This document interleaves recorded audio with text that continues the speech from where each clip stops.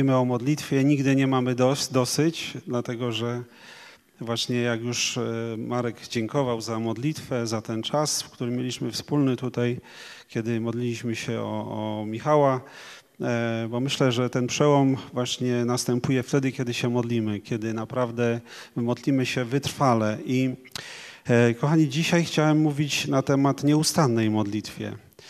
E, dlatego dziękuję Markowi, ale też e, Wam dziękuję za modlitwę, za mnie. Myślę, że nie rozczaruję Was. Nie chciałbym tego. Miał być pastor dzisiaj e, usługiwać, ale jest zmiana, więc, więc że tak powiem, przyjąłem to wyzwanie i z pewnością może niektórzy z Was zastanawiają się, jak powstaje kazanie w ogóle, bo wy, którzy tutaj nigdy nie, nie, nie, nie mówiliście żadnego kazania, e, chociaż tak naprawdę całe nasze życie jest kazaniem. E, każdy z nas kazanie, kazanie głosi, tylko może nie z tego miejsca, ale w takiej formie jak tutaj może nigdy i może, może tak się zastanawiacie, jak też kazania, kaznodzieje przygotowują się do kazania. Powiedzieć wam?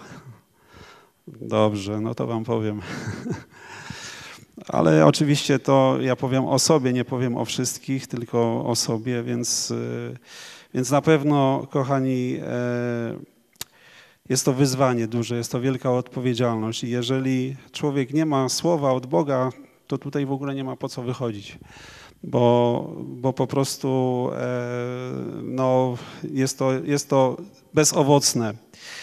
I dlatego dla nas, dla tych, którzy e, chcą przekazać słowo od Pana, a chcemy, żeby to nie było słowo ludzkie, ale żeby to było słowo od Pana, na ten czas właściwy, właściwe słowo, właściwy pokarm, na daną chwilę, to jest to duże wyzwanie, bardzo duże wyzwanie i zwykle przygotowujemy się, przygotowuję się, e, modlę się, zamykam się gdzieś tam w pokoju, tak samo było teraz, ale kochani, nie dostałem żadnego słowa i e, w sobotę, kiedy, kiedy tak miałem jeszcze troszkę obowiązków, pomagałem żonie w, w kuchni, kroiłem kapustę, nagle ciach, jak strzała z nieba, słowo mi przyszło. Musiałem zostawić tą ćwiartkę jeszcze niedokrojoną.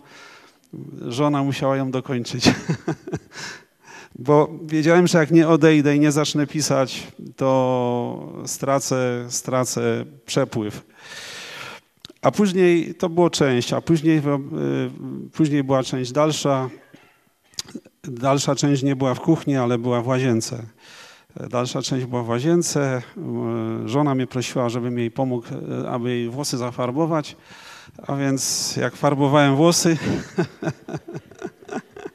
dlatego tak ładnie wygląda, mówiąc nieskromnie. E, I kiedy farbowałem włosy, to ciach, jak strzała, przyszła część dalsza. Musiałem zostawić. Nie, nie. Tylko na chwilę zostawiłem żonę. Tylko na chwilę zostawiłem żonę, zapisałem szybko to, co przyszło i do, dalej do pracy. Także w taki sposób kaznodzieje się przygotowują.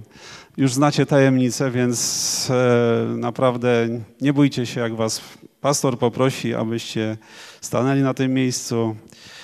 Tylko po prostu bądźcie otwarci i chętni, a Pan Bóg wam da słowo. Także e, dziękuję Wam za, za modlitwę. I teraz, e, teraz już chciałem przejść do, do, do słowa. E, tak jak już powiedziałem na wstępie, słowo to będzie dotyczyło módlcie się bez przestanku bez przestanku się módlcie, a więc tak jakby tytuł jest e, tego słowa, aby się modlić bez przestanku. Jak, jak się modlić e, bez przestanku? E, jak się modlić cały czas? Jaka, to ma, być, jaka ma być ta modlitwa?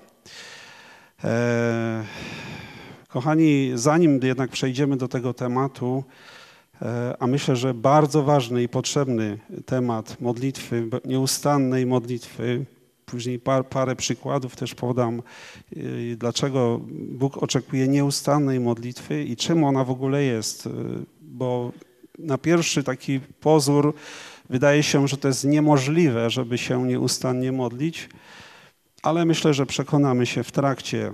Ale najpierw, zanim przejdziemy do tego słowa, o nieustannej modlitwie chciałbym, abyśmy się przyjrzeli naszym czasom, w których żyjemy.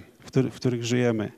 Kochani, żyjemy w takich bardzo e, niepewnych, niestabilnych czasach, a ta niepewność, niestabilność, coś, co nie można sobie jak gdyby zaplanować, e, że, że Y, coś ustalić, coś pewnego, tak po ludzku, wynika z tego, że nasz świat dokonuje niesamowitego przyspieszenia. Nasz świat dokonuje niesamowitego przyspieszenia. I to w różnych dziedzinach, szczególnie w odkryciach naukowych, w innowacjach, w różnych wynalazkach. I E, niepewność wynika z tego, e, że zwykli ludzie, tacy jak, jak my, ale również naukowcy, sami nie wiedzą, do, dokąd zaprowadzi nas to ogromne przyspieszenie, które obecnie e, dzieje się na naszych oczach. Ogromne przyspieszenie. I ta niepewność wynika z tego, że gdy się przyspiesza, to wystarczy mała nieuwaga i łatwo się, e, łatwo się, że tak powiem, rozbić. Łatwo można dojść do tragedii. Wystarczy jedna mała nieuwaga. E, wiemy, że jak coś szybko się jak idziemy powoli, przewrócę się, no to jest ok, można, można z tego wyjść cało. Ale kiedy jadę samochodem 100, czy 150, czy 200 na godzinę i wysiądę z tego samochodu w tym czasie, no to wiemy, co się dzieje. I, i tak jest właśnie również y, w naszym, naszym życiu. Y, można powiedzieć, że jak gdyby ten świat, w którym żyjemy, jest teraz globalny, globalnym światem, gdzie jeden od drugiego jest bardzo silnie powiązany. Już nie jesteśmy jak gdyby samodzielni, ale jest to wszystko powiązane, e, powiązane ze sobą. Decyzja jednego człowieka wpływa na e, nie tylko na dany kraj, ale na cały świat. Niedawno byliśmy świadkami tego, jak e, Iran powiedział, że się odgrozi światu, czy Ameryce szczególnie, ale i gdy tylko to powiedział, to cały świat zaczął drżeć, tak? Cały świat zaczął jak gdyby no, poważnie brać to pod uwagę, zaczęli protestować przeciwko decyzjom i tak dalej. Tak, nie będę rozwijał tematu, ale widzimy, że y, jedna, jedna niefortunna decyzja może zachwiać filarami obecnego porządku. Można powiedzieć, że ten względny pokój jest jak gdyby trzymany taką cienką nitką, która może w każdej chwili pęknąć. Jak gdyby świat jest na krawędzi takiego względnego pokoju, względnej, względnej jakiegoś poczucia bezpieczeństwa. Bo wystarczy jedna rzecz i wszystko to się nagle e, chwieje. I my dzięki E, środkom masowego przekazu możemy to wszystko w jednej chwili widzieć i narody mogą się, że tak powiem, od razu e, dowiedzieć o wszystkim. Ale taka jest sytuacja obecnie, jaka jest na świecie i my wiemy, że, e, że, mm, że wszystko, w każdej dziedzinie wszystko jak gdyby mało, że jest niepewne, to jest jeszcze to, że jest przyspiesza ten rozwój, to wszystko nie wiemy dokąd nas zaprowadzi. E, chciałbym Wam tylko jako przykład powiedzieć, i to tak, nie wiem, to nie jest przypadek, bo w ostatnich dniach e, parę artykułów, trzy artykuły takie wpadły mi chyba w przeciągu dwóch tygodni, może tygodnia, e, na które się natknąłem w, w internecie i na przykład jeden artykuł mówi o tym przyspieszeniu I tutaj chodzi o przyspieszenie w, w przesyłaniu, w transferze danych, tak? w przesyłaniu danych, chodzi o dane no, cyfrowe i tak dalej. Żyjemy w świecie cyfrowym i wiemy teraz za dwa lata już ma być na całego 5G sieć e, i tutaj e, czytałem, że, że te ogromne możliwości się już wykorzystuje w Azji, przede wszystkim w Korei Południowej i w Chinach, ale tamtejsze rządy nie zamierzają spocząć na laurach. Teraz dochodzą nas takie wieści, że e, chińskie instytucje państwowe, e, uniwersytety wspólnie rozpoczęły pracę nad siecią już 6G. Jeszcze 5G nie ma, już 6G. I władze w Chinach chcą zdetronizować Koreę. Wszystko wskazuje na to, że nie są to przechwałki. Tak czytam taki fragment, który sobie tam wy, wy, wynotowałem w, w projekt. Ma być bowiem zaangażowanych tysiące naukowców, inżynierów na co dzień zaangażowanych w rozwój sieci 5G. I co, to, co się kryje za tą siecią 6G? Rząd nie ukrywa, że 6G to przyszłość, która nie do poznania odmieni cały nasz świat. Na razie nikt nie wie, jak będzie docelowo wyglądała, na razie nikt nie wie, jak będzie docelowo wyglądała. Ale pierwsze wizje wskazują, że gdy powstanie, będzie w czymś w rodzaju globalnej świadomości. Według planów wdrożenie 6G ma nastąpić po roku 2030, czyli za 10 lat. Wówczas na rynku pojawią się już w pełni automatyczne, autonomiczne samochody, chyba chodzi o automatyczne raczej samochody, inteligentne roboty, interfejsy, mózg, komputer i pierwsze funkcjonalne komputery kwantowe. Y, sieć przyszłości na stałe połączy ludzkie mózgi z super szybkimi komputerami. Nie wiem, czyście to teraz dobrze słyszeli, co mówię. Ludzkie mózgi z super szybkimi komputerami robotami czy chmurami obliczeniowymi. Nasze zdolności umysłowe wzrosną niewyobrażalnie. Będziemy mogli łączyć się ze wszystkimi ludźmi i mieć dostęp do praktycznie nieograniczonej wiedzy. Sieć 6G powinna podołać przyszłej rzeczywistości świata i pozwolić na jeszcze szybszy rozwój będzie ona narzędziem komunikacji, którego potęgi jeszcze nie jesteśmy w stanie sobie wyobrazić. Zatem, kto pierwszy ją wdroży, będzie rządził światem. I teraz e, jeszcze ostatnia rzecz, bo nie chcę się tutaj rozwodzić nad tym, tylko zasygnalizować. Chiński rząd zakłada, że pierwsze podwaliny do budowy sieci 6G powstaną w roku 2026, a jej komercjalizacja po roku 2030, czyli za 10 lat. Wówczas prędkość transmisji danych ma być ponad 150 razy większa od pierwszych modemów 5G i 2000 razy wyższa od obecnej 4G. To są niewyobrażalne prędkości i dlatego ta prędkość nam pozwoli po prostu e, no, łączyć się jak gdyby e, z, z, z komputerami i tak dalej, i tak dalej. E, to są tylko takie, taka informacja jedna. Druga taka informacja, która, którą przeczytałem, to jest również zupełnie niezależne jak gdyby informacje, gdzie też jest napisane, że jest, jest, jest pewien punkt osobliwości, który zostanie osiągnięty właśnie też w 2030 roku, czyli za 10 lat. Punkt osobliwości to jest punkt, w którym komputery czy sztuczna inteligencja będzie mądrzejsza niż ludzie.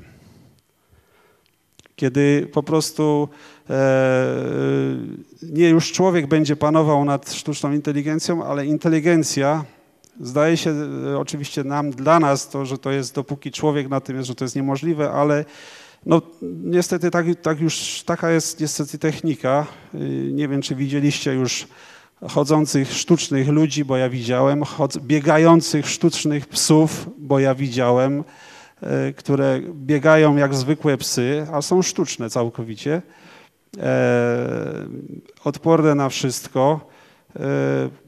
Nie zdajemy sobie sprawy, jak szybko ten świat przyspiesza. I tam właśnie w tym punkcie osobliwości, kiedy tam ten artykuł czytałem, to było coś takiego, że co roku E, jak gdyby e, podwójnie się przyspiesza e, te jak gdyby zdolności przetwarzania danych i wynalazczość jak gdyby podwójnie się zwiększa. I mówi, że w pierwszych, w pierwszych naszych latach jest to jak gdyby niewidoczne, idzie to powoli, ale za parę lat to tak jak Mamy szklankę, która się napełnia o dwa razy, tak? Na początku, jak wlejemy troszeczkę i zrobimy razy dwa, to będzie tyle. Później, jak zrobimy razy dwa, to będzie tyle. Jak zrobimy razy dwa, to będzie połowy szklanki, ale później, jak zrobimy razy dwa, to będzie w ciągu krótkiego czasu takie przyspieszenie, że ta cała szklanka będzie wypełniona do, do, do, do pełna za jednym zamachem a wydaje się, że jest tylko pół. Rozumiemy o co chodzi? Chodzi mi o przyspieszenie, które następuje. I tutaj czytaliśmy że o tym, że, e, że nasz, nasz mózg e, czy sieć przyszłości na stałe połączy ludzkie mózgi z super szybkimi komputerami, robotami, chmurami obliczeniowymi. Jak to się stanie? No może na razie tego nie, nie wyobrażamy sobie, ale my wiemy, że kiedy antychryst przyjdzie, on będzie chipował ludzi. Nie, nie, mówimy chipował, bo nie wiemy, czy to, będzie, czy to będą chipy, bo zdaje się, że już będą bardziej nowoczesne formy, ale y, będzie taka technologia zastosowana, która sprawi, że właśnie ludzki mózg będzie totalnie uzależniony od tego. I dlatego będzie mógł wtedy e, antychryst e, działać na ludziach i ci ludzie pomimo spadających plag nie nawrócą się do Boga, dlatego że już będą tak e, wpływa, wpływać będą na ich, ich wolę, że nie będą w stanie się nawrócić do Boga. I dlatego jest napisane, kto przyjmie ten, to znamie antychrysta, ten nie ma możliwości już odwrotu, żeby taki człowiek mógł po prostu się e, nawrócić do Boga. Nie ma takiej możliwości, dlatego że będzie, można powiedzieć, prze, przeformowany czy przeprogramowany. Jak to się stanie, nie wiem, ale jest to możliwe już teraz, e, między innymi dzięki sieci 6G. E, po co to w ogóle mówię, kochani, bo E, nie chcę tutaj, żebyśmy po prostu ulegli jakiemuś takiemu, e, bo jak ja, ja to pierwszy raz przeczytałem, no to powiedziałem sobie, no nieźle, do czego ten świat zdąża i, i jakie tu są w ogóle możliwości, jak człowiek jest w stanie to wszystko wykorzystać e, przeciwko człowiekowi, te, te, te odkrycia i tak dalej, które przecież mogą być dobrymi, ale niestety wykorzystane będą przeciwko człowiekowi. I Pan Jezus powiedział, że przed przyjściem będą się działy różne rzeczy, y, będą, będą przed Jego przyjściem ponownym. Ale On powiedział, żebyśmy nie ulegli czemu? Żebyśmy nie ulegli jakiemuś takiemu e, zniechęceniu, nie ulegli e, strachowi, nie ulegli jakiejś takiej e, zniechęceniu do jakiegokolwiek działania, żebyśmy nie byli przygnębieni, ale żebyśmy tym bardziej wykorzystali ten czas, który jest, który został, do tego, aby być Jego narzędziami. I on powiedział, że e, żebyśmy mogli być Jego narzędziami, to potrzebujemy jednej rzeczy. Musimy być na stale podłączeni do, do Niego. Na stale podłączeni do Niego. Nawet tego tutaj nie mam zapisane, ale tak mi to teraz przyszło tak jak porównuję to z tą siecią, tak my musimy być na stale podłączeni do Niego. A konkretnie chodzi mi o, o, o stałą modlitwę. Cały czas stałą modlitwę i dlatego musimy się przyjrzeć, czym jest e, modlitwa, dlatego że Pan Jezus w kontekście czasów ostatecznych w Ewangelii, e, w Ewangelii Łukasza powiedział, baczcie, aby serca wasze nie były obciążone wskutek obżarstwa, opilstwa i troski o aby was ten dzień nie zaskoczył, niby sidło, ale co mamy robić? Niby sidło przyjdzie bowiem z nienacka na wszystkich, którzy mieszkają na całej ziemi. Czuwajcie więc. I co mamy robić? W jaki sposób mamy czuwać?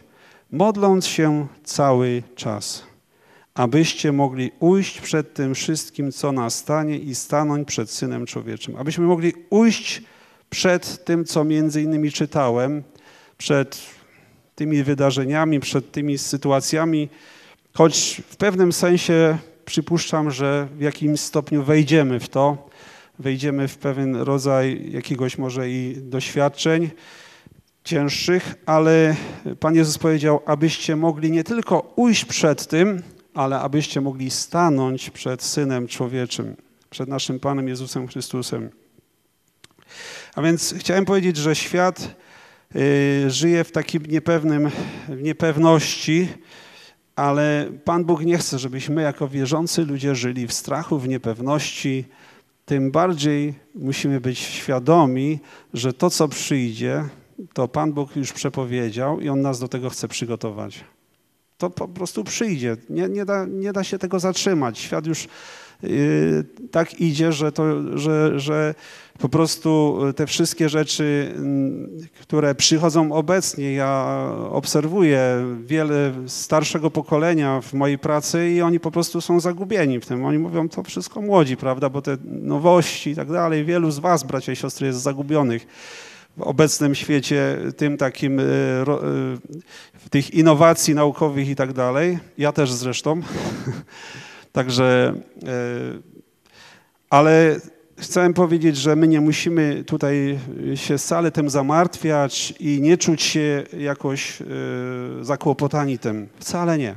Dlatego, że Pan Jezus powiedział, jedna rzecz może was uchronić przed pewnego rodzaju nostalgią, przed pewnego rodzaju takim yy, popadnięciem nawet w depresję. To jest nieustanne połączenie ze mną, nieustanna modlitwa, nieustanny kontakt ze mną. I przez to, że będziecie połączeni ze mną, będziecie doświadczali takiej, takiej obecności, takiej mm, chęci do życia, pomimo takich różnych sprzeciwności, że to będzie takim ogromnym świadectwem dla tego świata i ten świat będzie chciał właśnie skosztować tego samego. I dlatego, tak jak powiedziałem, świat będzie przyspieszał, ale my powinniśmy się e, w drugą stronę patrzeć, aby po prostu e, być blisko Pana, aby, e, abyśmy po prostu byli połączeni na stałe z Panem i abyśmy dalej pracowali tak, jak jesteśmy, abyśmy nie, jak gdyby nie przyjęli takiej postawy bierności i powiedzieli, skoro to ma wszystko ulec zagładzie, jak apostoł Piotr powiada, no to już nie warto nic zrobić, nie warto się żenić, nie warto budować, nie warto mieć dzieci, nie warto w ogóle, najlepiej się zamknąć gdzieś i się tylko modlić. To nie jest moje przesłanie, kochani. Ja już takie rzeczy słyszałem ponad 20 lat temu i gdybym tak posłuchał, to ja bym dzisiaj nie miał żony, nie miałbym dzieci, nie wybudowałbym się, nie miałbym może pracy, nie wiem, Kochani, Bóg nas nigdzie do tego nie zachęca, abyśmy przyjęli taką postawę zniechęcenia i po prostu takiej bierności. Wręcz przeciwnie, Bóg mówi, abyśmy wszystkie talenty, które Bóg nam dał, do końca wykorzystywali na pełnych obrotach. Amen? Bo Bóg nas tego rozliczy. Bóg nas z tego rozliczy. Jak? Czy, czy ze strachu przed tym, co będzie, zakopię talent i nic nie będę robił, bo już nie warto? czy będę jednak obracał tym talentem, pomimo sytuacji, którą widzę. Wiecie, był taki prorok, Jeremiasz, który znalazł się w tragicznej sytuacji, dlatego że został zamknięty przez króla judzkiego, Sedekiasza, na dziedzińcu, a wokół Jerozolima była otoczona armią Nabuchodonozora, nie, przepraszam, Nebukadnezera, króla babilońskiego. Sytuacja tragiczna. Po prostu on został uwięziony za to, że prorokował przeciwko temu miastu, przeciwko królowi, przeciwko bezbożności, a z drugiej strony miasto było już otoczone. I wiecie co? Prorok, prorok Jeremiasz otrzymał niesamowite słowo, które gdyby mi ktoś takie coś powiedział, powiedziałbym, ty się na pewno, ty się idź lepiej upewnij, czy to jest słowo od Pana. Bo on otrzymał słowo od Pana prosto od Boga, które później zostało potwierdzone przez kogoś bliskiego z rodziny jego, że ma sobie iść i kupić pole w Annot. On był w więzieniu, miasto otoczone, a on sobie ma iść kupić pole. Totalne zaprzeczenie. Po co mu pole? w takim, kiedy wszystko jest, nie ma przyszłości, nie ma perspektyw żadnych, kompletnie. Widzicie, jak ważne jest, żeby w takim czasie być blisko Pana, żeby mieć słowo od Niego, żeby Bóg mógł mówić do nas w takim czasie ucisku, jakim się może znajdujemy, może się zmagamy, może widzimy wszystko na czarno, jak ważne jest być blisko połączony z Panem, dlatego że Bóg dał obietnicę, że tutaj jeszcze w tym miejscu się będzie kupować, jeszcze się będzie budować i tak dalej, i tak dalej, że Bóg odmieni los Jerozolimy. I to jest takie niesamowite zachęcenie do nas, że tak jak Luter powiedział podobno, że mówi, że wiedział, jakby wiedział, że jutro będzie przyjście pańskie, on by jeszcze dzisiaj drzewo zasadził. Dziwne, ja bym chyba nie sadził już, a on jednak by zasadził drzewo. Po prostu nie możemy ulec z frustracji. Kiedy nas dochodzą takie różne nowinki tego typu, które ja czytam, bo w internecie jest dużo różnych nowinek, ale ja tylko chcę wam powiedzieć, że też jak blisko to pokazuje, jak, e, co robi wróg, że przygotowuje się na to wszystko, nie? I skoro za 10 lat to ma być już gotowe, ja nie wiem, czy za 10 lat już Pan przyjdzie, nie wiem. Ja oczekuję Pana nie za 10 lat, ja go oczekuję dzisiaj. I to jest, to jest to, ja muszę dzisiaj być gotowy, bo jak ja będę czekał, ach, jeszcze mam 5 lat, jeszcze mam 10 lat, niż to zrobią, niż się to wypełni, jeszcze mam czas. Jeżeli taką postawę zajmujemy, to będziemy na pewno e, rozczarowani tym, co będzie. To się będzie działo. A więc, kochani, e, Bóg chce, abyśmy byli blisko Niego, połączeni z Panem, abyśmy znali Jego wolę szczegółowo.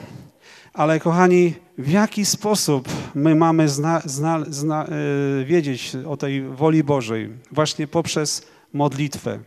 I teraz już chcę właśnie przejść do tematu yy, modlitwy i dlatego ten wstęp taki troszeczkę zrobiłem dłuższy abyśmy wiedzieli, abyśmy to odnieśli, jak bardzo ważne w naszych czasach, zresztą nie za w każdym czasie, w każdym czasie, ale szczególnie teraz. Pan Jezus powiedział, jeśli chcecie to, żeby was to minęło i chcecie stanąć przed Synem y, Człowieczym, to musicie co robić? Modląc się cały czas. I my, musimy się przyjrzeć, co to znaczy modlić się cały czas. Czy mam zamknąć 24 godziny za sobą i modlić się cały czas? Na pewno nie, bo to jest niemożliwe. A więc nie o taką modlitwę chodzi, więc przyjrzyjmy się temu, o co chodzi. Oczywiście ja wierzę, że, że tylko cząstkę jakąś z tego będę mógł przekazać. Myślę, że modlitwa, e, niby temat znany, ale czy na pewno? Może w naszym zborze E, dużo się mówi o modlitwie, zachęca się do modlitwy. Przez ostatnie, nie wiem, 3, 4, 5 lat może jakoś zwracana jest szczególna e, waga na temat modlitwy i e, wydawać by się mogło, że ten temat nie jest nam obcy, ale kochani, myślę, że tu nie chodzi o to, że możemy po prostu odfajkować i powiedzieć, ja uczęszczam na spotkania modlitewne, w, w czwartki, w piątki, e, uczęszczam na comiesięczne spotkania e, w piątki i soboty. E, modlę się przed nabożeństwem pół godziny, e, modlę się w domu e, codziennie, rano, wieczorem. Tu nie chodzi o takie odfajkowanie, kochani. Tu coś chodzi o coś dużo więcej. Kochani, i bo możemy ulec takiemu, takiemu czemuś, że no ja się modlę. Ja się modlę. Ale kochani, ja chcę, abyśmy Mm, abyśmy naprawdę przyjrzeli się temu tematowi. Czym jest ta modlitwa? Dlaczego modlitwa? Dlaczego cały czas? I jaka ma być ta modlitwa? Modlitwa, dlaczego, dlaczego modlitwa? Dlatego, że modlitwa to jest nasze połączenie. To jest kanał, przez który Bóg działa. Modlitwa to jest połączenie, to jest kanał z naszym Panem. Przez modlitwę jesteśmy połączeni z Nim. Przez modlitwę przychodzi namaszczenie, nie przez to, że ktoś na ciebie rękę położy, ale przez modlitwę z Panem przychodzi namaszczenie. Przez modlitwę z Jego Słowem. Przez modlitwę. To jest, to jest kanał. Chodzi o to, że przez modlitwę spotykamy się z naszym Panem w sposób szczególny. Spotykamy się w Nim. I kochani, chodzi o taką modlitwę, o taką relację, jeśli mówimy o modlitwie, chodzi o taką modlitwę, o taką relację z Panem, o którą będziemy zabiegać cały czas.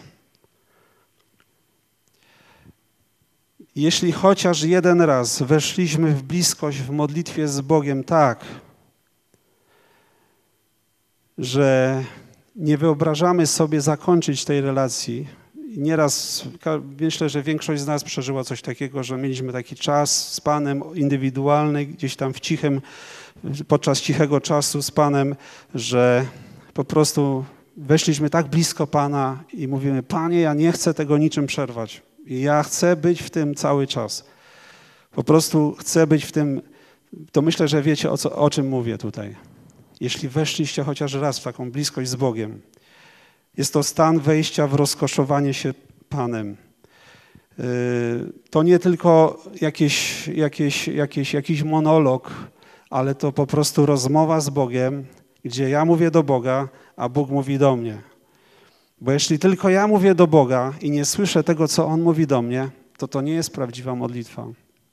To nie jest prawdziwa modlitwa. Chodzi o to, żebyśmy weszli na taki poziom modlitwy, żebyśmy z modlitwy, oczywiście przebijamy się, bo są różne poziomy modlitwy, musimy się przebić przez samego siebie, przez różne sytuacje, przez różne myśli, które nie chcą się poddać. Modlimy się, a tu myśli gdzieś krążą, prawda? Jesteśmy tu w zborze, modlimy się, ale myślimy o wszystkich innych sprawach. Jest tak? Jest tak. U mnie tak jest. I u was też tak jest, na pewno. A skąd to wiem? Bo jesteście tacy sami jak ja. Albo podobni.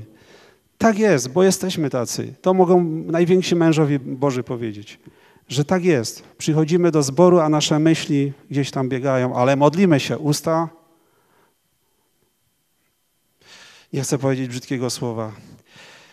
Kochani, ale jeśli, jeśli e, naprawdę ktoś się spotkał z Bogiem w modlitwie, E, to wie, że nie ma nic piękniejszego i rozkoszniejszego jak to, to co przeżył właśnie w bliskości z Bogiem.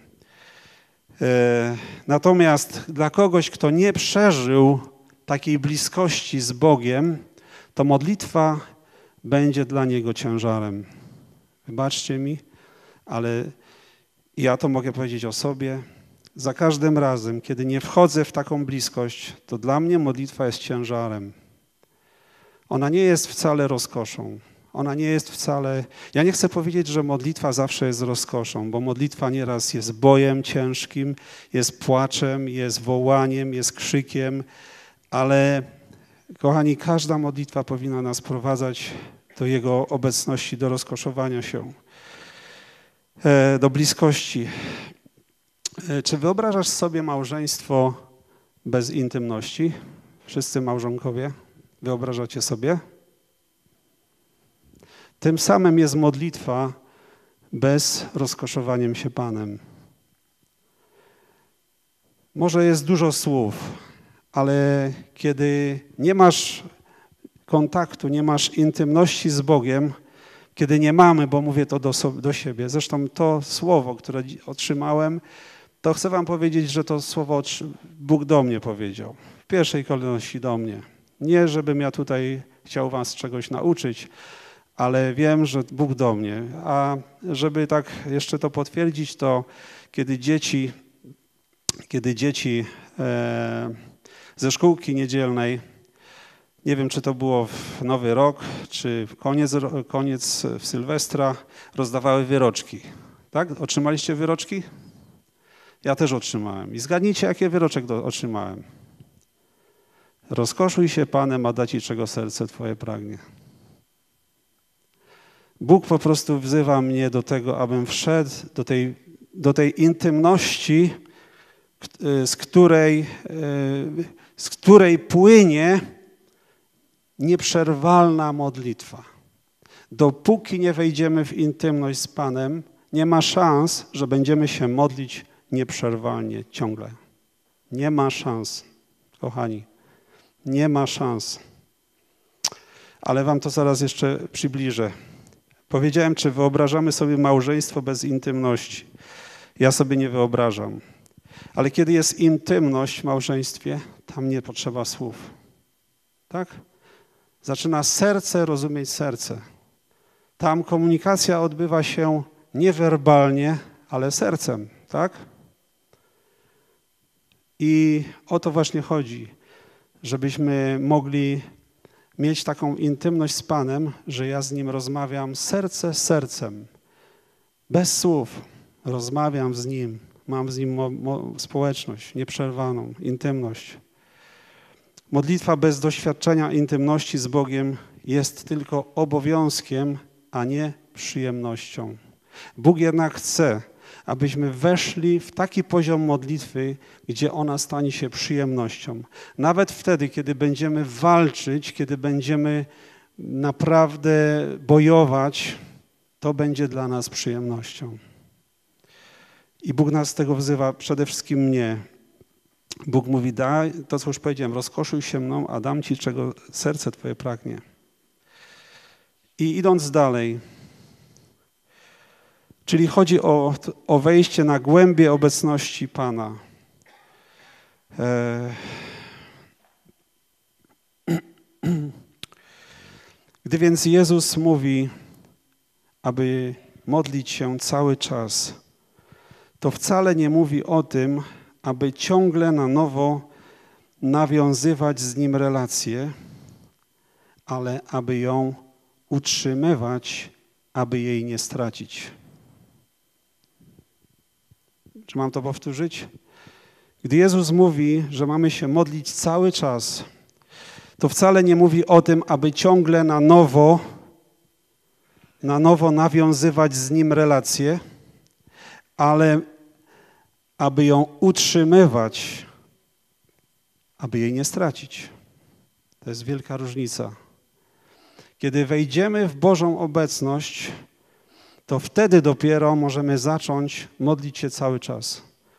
Dlaczego? Dlatego, że my cały czas będziemy tęsknić za tym miejscem społeczności z Panem. Będziemy tęsknić i będziemy cały czas czuwać, aby mieć sposobność do tego, by mieć z Panem społeczność. Kiedy On mnie do czegoś wzywa, żebym na przykład zostawił coś, tak jak ja na przykład zostawiłem tą kapustę, a później te włosy. Gdybym nie posłuchał, nie napisałbym tego, przypuszczam. Może by przepłynęło obok. Ale kiedy Bóg nas, kiedy jesteśmy z Nim, kiedy jesteśmy z Nim, kiedy chodzimy z Nim, to wtedy musimy pilnować się w duchu, aby cały czas, aby cały czas być w takim duchu modlitwy. E, a więc wielu z nas, pod, e, albo inaczej, bo teraz już troszkę się tutaj rozpędziłem. Kochani, kiedy Jezus mówi, aby czuwać, bo mówił Pan Jezus, czuwajcie, bo nie wiecie, kiedy ten czas przyjdzie, kiedy mówił o, o, o przyjściu swoim, to co miał na myśli? Czuwajcie, abyście co? Mogli się modlić. Czyli być cały czas w tym pogotowiu modlitewnym, w tej nieprzerwalnej modlitwie. Co miał na myśli właśnie? Czy chodziło o pilnowanie samej modlitwy? Na przykład tego zwyczaju dobrego, jaki miał Daniel.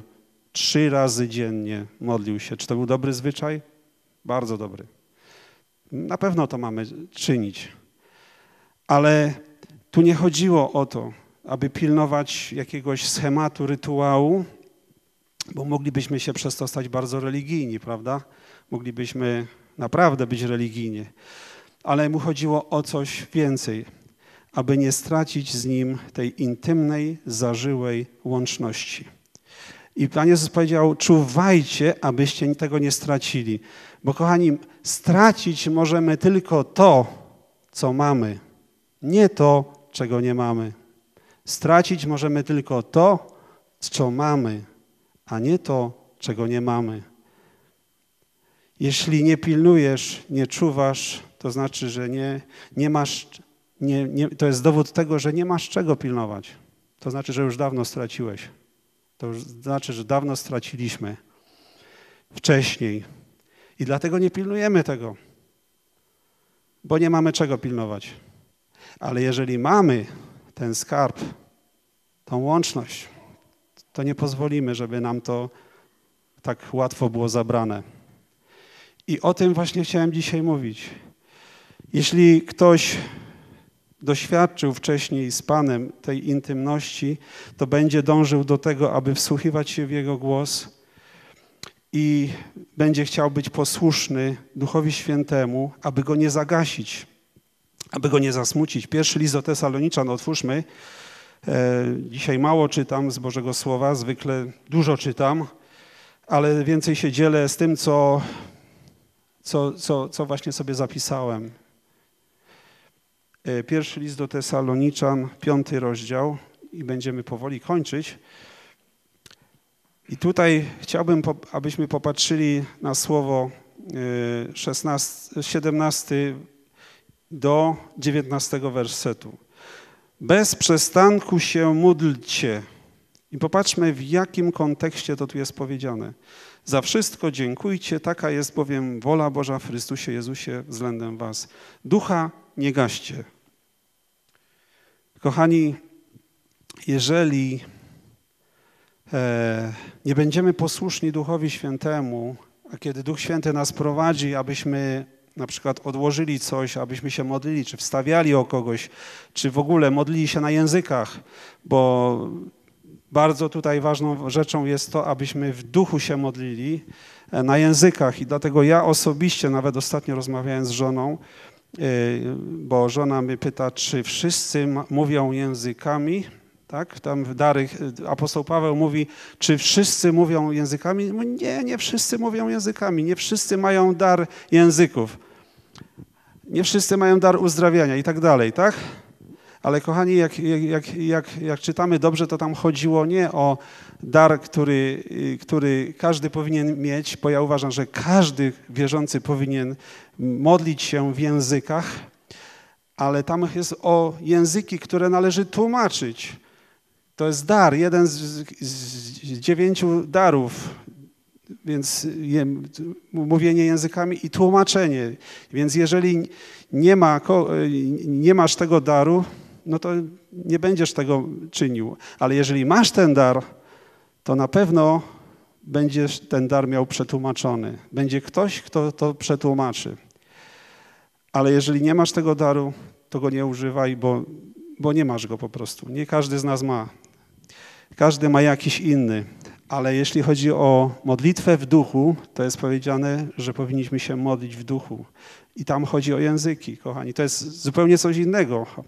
Języki, które są, kiedy jest to dar dla Kościoła, a języki, kiedy ja sam siebie buduję, kiedy modlę się, kiedy ja ich nie rozumiem i, i, i kiedy buduję samego siebie w językach, tak?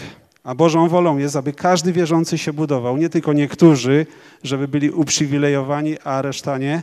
Nie. Każdy ma to samo prawo do tego. Dlatego, jeżeli gasimy Ducha Świętego, to wtedy nie modlimy się bez przestanku. Dlatego musimy być, być czujni. Wielu z nas, kochani, potrzebuje przyjść i nawiązać tą intymną relację, a potem dopiero będą się modlić, aby ją utrzymać. Czy rozumiecie, jest to zrozumiałe? Najpierw musimy wejść do intymności, do rozkoszowania się z Panem, a potem dopiero możemy mówić o nieprzerwanej modlitwie. Będziemy za wszelką cenę starać się dolewać oleju do naszej lampy, aby nie zgasła na przyjście Pańskie. Tak mnie zawsze tato uczył, już to po raz któryś w modlitwie, kiedy byłem dzieckiem. Panie, dolej oleju do lampy mojej, aby nie zgasło na przyjście Twoje. A może, e, może nie weszłeś jeszcze w taką intymność, którą prowadza Duch Święty, ale oczekuj na Pana tak długo, aż zaczniesz się rozkoszować Panem. To wymaga czasu, poświęcenia, ale jeśli już wszedłeś i wiesz o czym mówię, to wróć do intymności i pielęgnuj ją, dlatego że Bóg pragnie być na pierwszym miejscu. On chce być na pierwszym miejscu. On chce nas zaspokajać. Tylko taka modlitwa nas zaspokoi. Kochani, żadna inna nas nie zaspokoi. Tylko taka, która jest naprawdę w intymności. I ona dalej będzie nas prowadzić w stawiennictwo o innych i tak dalej, i tak dalej. A więc, kochani, kończę już i zachęcam każdego z Was, abyśmy weszli E, w taką naprawdę głębię modlitwy. Modlitwa, która będzie nieustanną modlitwą, bo będzie wypływała z intymności. E, nie będę już mówił, dlaczego ważna jest modlitwa. Tu już Marek mówił o tym, e, że mamy się wstawiać jeden o drugiego. Zbór się modlił nieustannie o, o Piotra i właśnie ta nieustanna modlitwa Piotra sprawiła, że e, Piotr został e, wyzwolony tak, z więzienia, uratowany. Brat Janusz Cieślar, kiedy w piątek mieliśmy spotkanie, mówił o pewnej, też właśnie mówił o modlitwie, ale to jest jak gdyby niezależne, bo ja się nie nastawiałem w ogóle ale on mówił o tym, o pewnej kobiecie, która modliła się o zbór nieustannie w takiej małej mieścinie i w sposób nienaturalny ten zbór się rozwijał, pomnażał i po prostu no, przebudzenie niesamowite, ale ta kobieta była tym motorem niewidocznym gdzieś tam, ale się modliła, modliła, modliła nieustannie o przebudzenie, o przełomy, burzyła te diabelskie warownie w tym duchowym świecie a ludzie się cieszyli, pastor się cieszył, wszyscy się cieszyli. Mamy przebudzenie. A później nagle przebudzenie się skończyło, jakoś wszystko zaczęło opadać, ludzi zaczęło ubywać. I co się okazało? Okazało się, że zmarła ta kobieta. Kiedy ona zmarła właśnie i później, i, i później ale pastor nie wiedział właśnie, y, że ona była takim, taką modlicielką może wiedział, nie, nie wiem, może to nie jest istotne, ale e, w każdym razie Bóg mu dał sen i on, on, on po prostu e, zobaczył w tym śnie, e, że było niebo i tam Pan Bóg mówił, a teraz wam przedstawię kogoś, kto najbardziej się przyczynił do zbawiania ludzi. W tym mieście właśnie, gdzie był ten kościół. No i tak pastor już się podekscytował, myślał, że to na niego Bóg wskaże, czy na, na innych, inni się tam, kaznodzieje już. I on to w śnie widział wszystko, a tu się okazało, Pan Bóg powiedział, że to ta kobieta właśnie, ta siostra, która się modliła, ona przyprowadziła najwięcej do Boga przez jej modlitwę. Więc modlitwa niesamowicie ma wielką, my ją nie doceniamy. Jeżeli nie doceniasz, nie doceniam ja jej i nie doceniasz ty, bracie i siostro, to znaczy, że nie, nie weszliśmy do, do głębi tej modlitwy, jaką Bóg chce. Powinniśmy tak być e, dotknięci tą modlitwą, społecznością z Panem, że modlitwa będzie dla nas rozkoszą. Będzie rozkoszą i będziemy w tej pozycji rozkoszowania się Panem trwać w ciągłej modlitwie i w ciągłym czuwaniu, aby nie stracić, nie stracić tego, co mam. Bo jak nie mam, to nie muszę czuwać.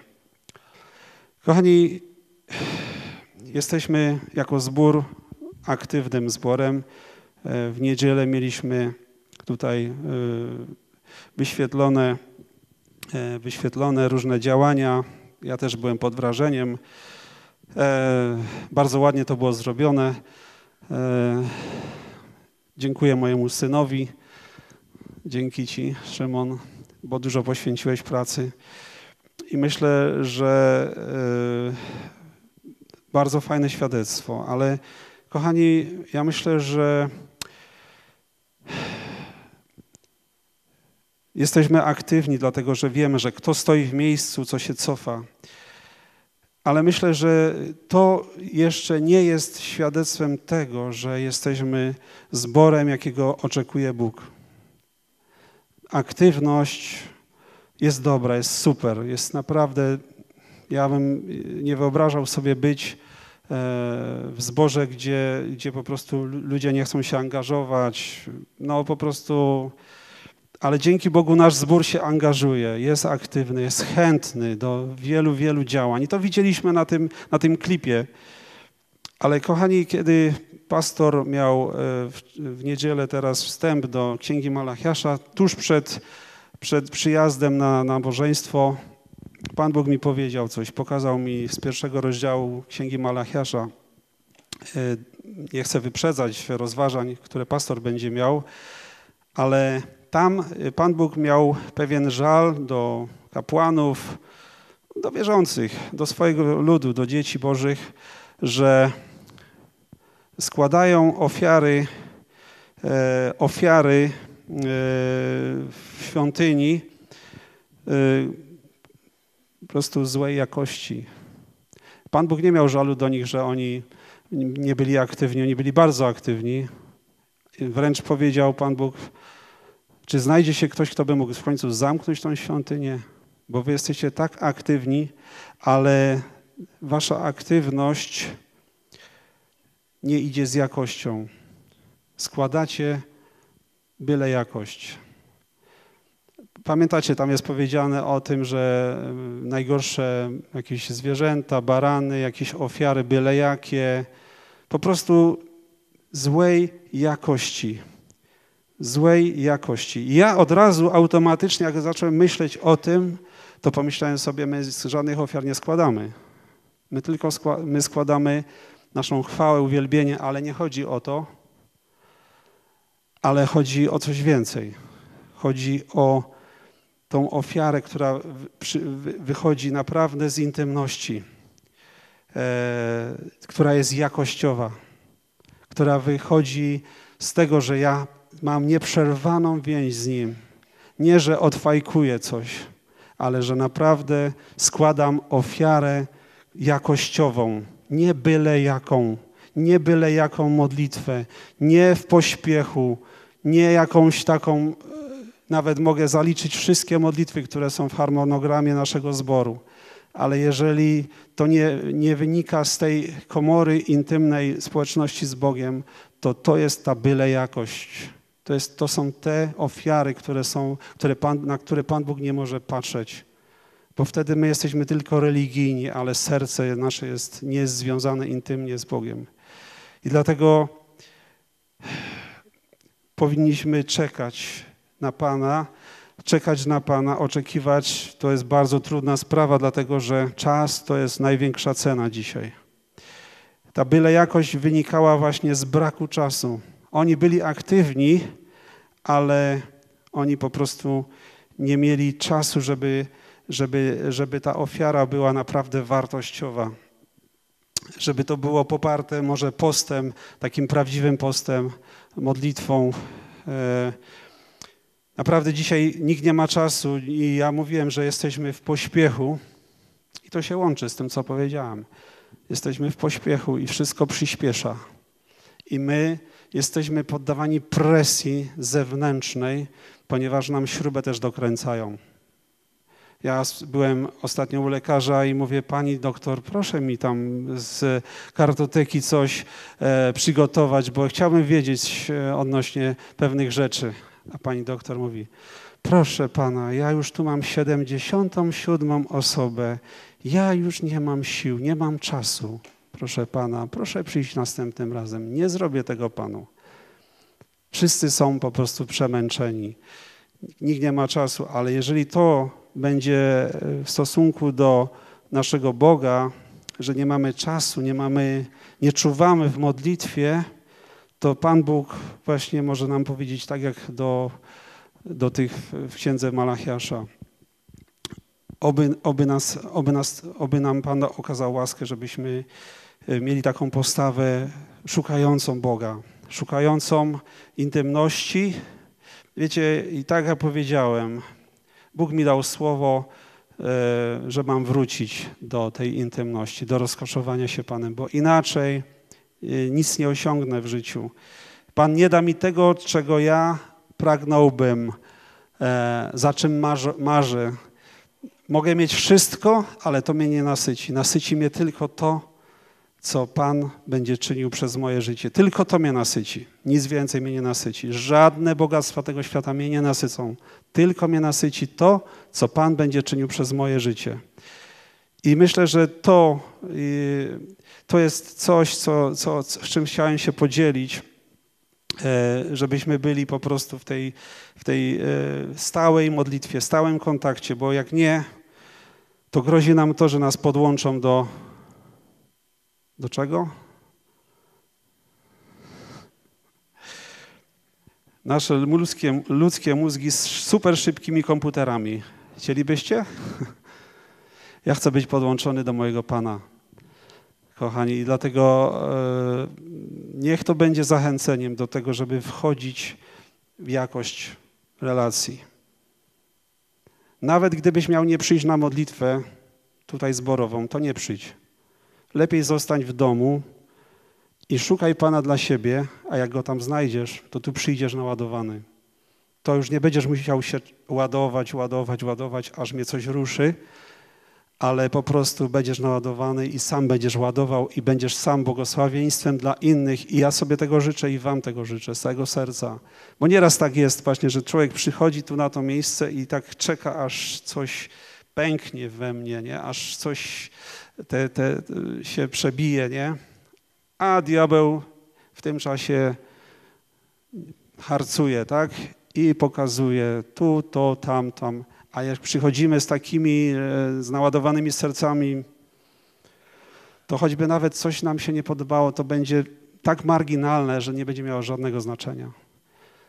Dlatego to jest tak bardzo ważne. Bądźmy, yy, idźmy w jakość, kochani, w jakość, nie w ilość, ale w jakość, abyśmy mogli się cały czas modlić. Chcielibyśmy powstać, kochani. Chcielibyśmy się pomodlić i prosić Pana, aby nam pozwolił wejść w tym roku w jakość, w jakość, w intymność, w głębie, abyśmy nie byli ludźmi, którzy na zewnątrz wydają się bardzo religijni, aktywni, ale gdzieś do końca niespełnieni.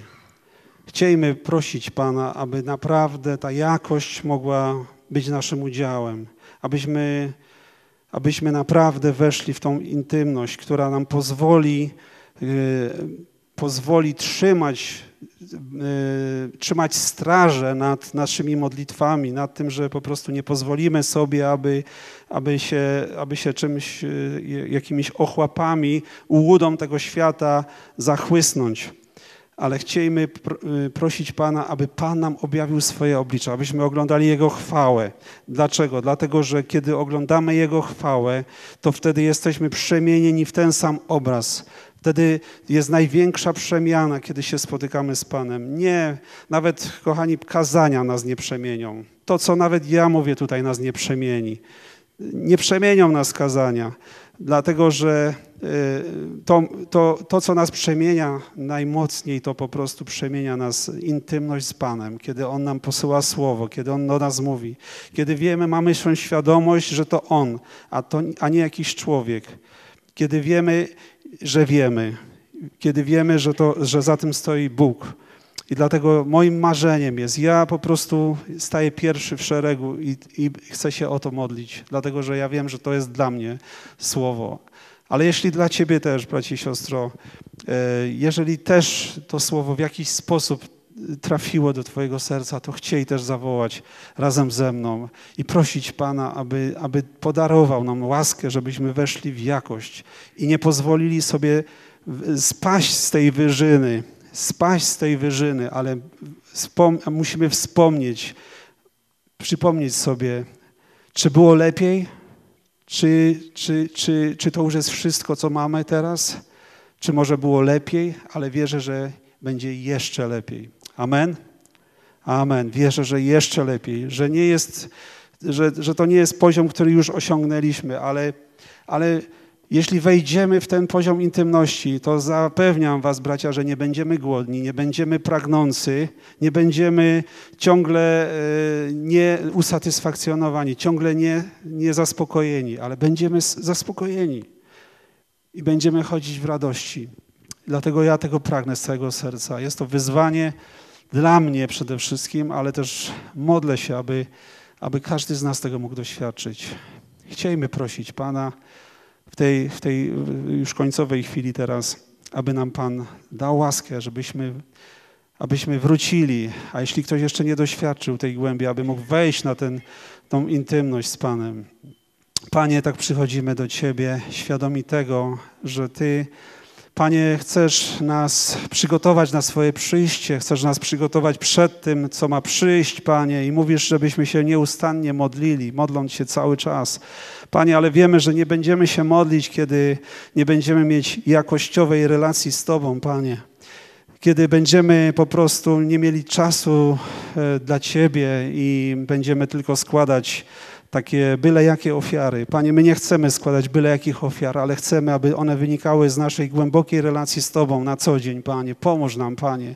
Ty wiesz, jak łatwo jest y, dać się zwieść z tej, z tej wyżyny duchowej, Panie, o której Ty mówisz w liście do Efezjan, Panie, prosimy Ciebie, pomóż nam, abyśmy wrócili, Panie, na te wyżyny, abyśmy zapłacili cenę czasu, Panie, abyśmy mogli naprawdę szukać oblicza Twojego, abyśmy mogli chodzić w bliskości z Tobą, tak, aby nasze życie było y, życiem w czuwaniu, w modlitwie, w nieustannej modlitwie, Panie, abyśmy mogli być e, zawsze gotowi do, do modlitwy, Panie.